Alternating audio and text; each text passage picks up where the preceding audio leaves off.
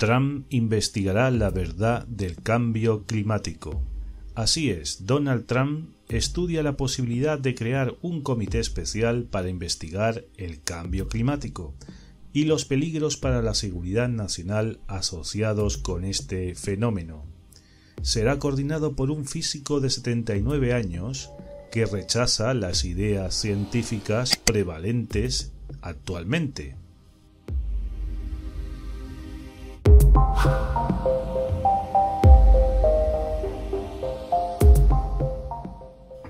Mientras tanto, la Sociedad de la Prensa o Associated Press redacta un documento para entregar a diversos organismos federales para que opinen sobre un decreto que se propone firmar Trump para crear este Comité Presidencial sobre Seguridad Climática. El documento indica a los funcionarios federales que dirijan sus preguntas a William Happer, miembro del Consejo de Seguridad Nacional de Trump y conocido por rechazar también las conclusiones científicas aceptadas. William Happer es un conocido físico estadounidense que se especializó en el estudio de la física atómica, la óptica y la espectroscopia es profesor de física emérito de la Universidad de Princeton y miembro de larga data del grupo asesor Jason, donde fue pionero en el desarrollo de la óptica adaptativa.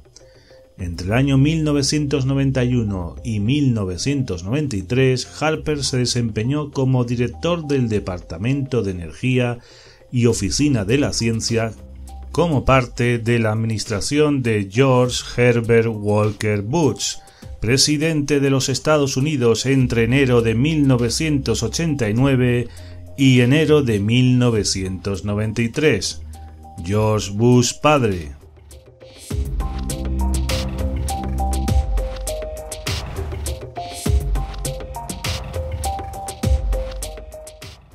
La Sociedad de la Prensa también incide en este documento en que el Consejo Nacional de Seguridad asesora al presidente en materia de seguridad y política exterior.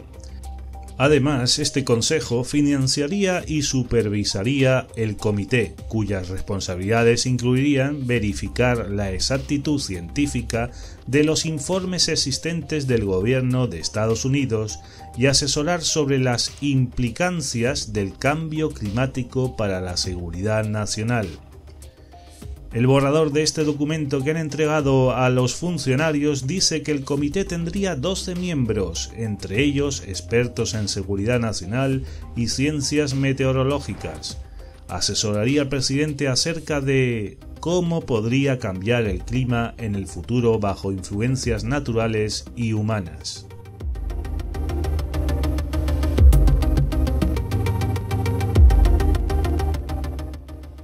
La verdad es que la política americana ha cambiado bruscamente.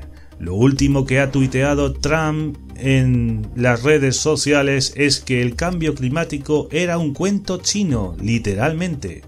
Recientemente aprovechó la ola de frío que azotó a buena parte de Estados Unidos para sembrar dudas. Mencionó lo siguiente, la gente no puede estar afuera ni por unos minutos. Y seguidamente se hizo esta pregunta, ¿Qué diablos pasa con el calentamiento global? Por favor, regresa rápido, te necesitamos.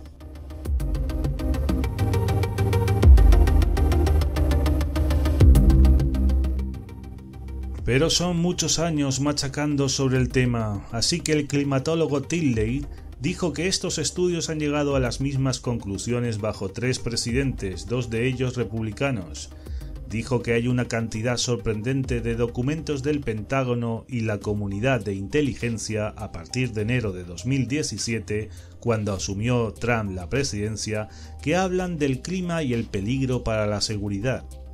Para el Pentágono se trata de estar preparados, dijo Tidley. Para la comunidad de inteligencia se trata de los riesgos. Vemos que los riesgos se aceleran. Está tan convencido que dijo lo siguiente, al hielo no le importa lo que piensa este gobierno, dijo Tidley, seguirá derritiéndose y obedeciendo las leyes de la física, lo quiera o no Will Happer. Pero lo que no sabe Tilley es que desde que ha llegado Trump hay otra corriente científica, hay otros científicos que ya se oponen a ese cambio climático. Mientras tanto, en estos días ha fallecido Broecker, el científico que creó la expresión cambio climático. El geólogo de 87 años, profesor histórico de la Universidad de Columbia, estaba hospitalizado en Nueva York. Todo empezó en el año 1975, cuando Brecker tituló un estudio en el que decía Cambio climático, ¿estamos al borde de un calentamiento global pronunciado? En este trabajo se alertaba sobre el efecto que podría tener el aumento del dióxido de carbono en la atmósfera.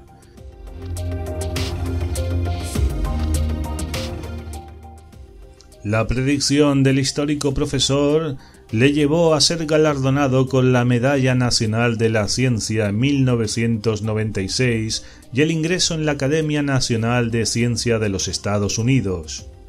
La predicción no tuvo mucho éxito entre los gobiernos del mundo, hasta que poco antes de su fallecimiento la Organización Meteorológica Mundial informó que las temperaturas del planeta llevaban ya cuatro años consecutivos de récords.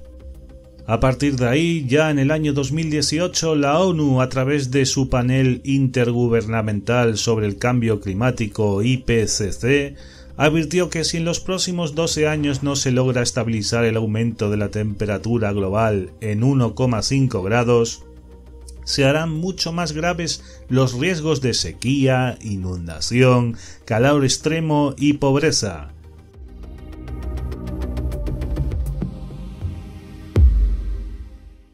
Así que los autores del informe histórico del IPCC alertaron a los países de que hicieran cambios realmente importantes y sin precedentes, pero no se cumplieron en el Acuerdo de París sobre el cambio climático.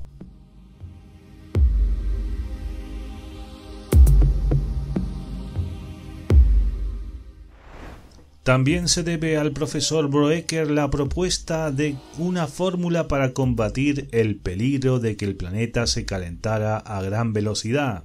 Propuso el secuestro y almacenamiento del carbono, y surtió efecto porque en el protocolo de Kioto se acordó crear un mercado de emisiones de dióxido de carbono en el que los países y empresas pudieran comprar y vender certificados de derechos de emisión en función de si emitían gases de efecto invernadero o ayudaban a reducir las emisiones a través de energías renovables.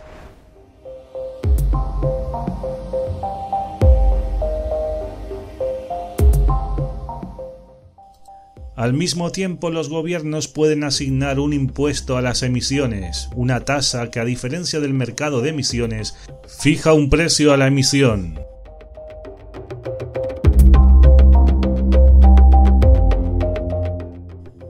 Definitiva, ya dijimos en un vídeo anterior que había un gran conglomerado de empresas y de funcionarios viviendo de este tema, viviendo del cambio climático, y se ha establecido a tan gran escala que va a ser muy difícil que otras corrientes de pensamiento y de trabajo se impongan en la sociedad.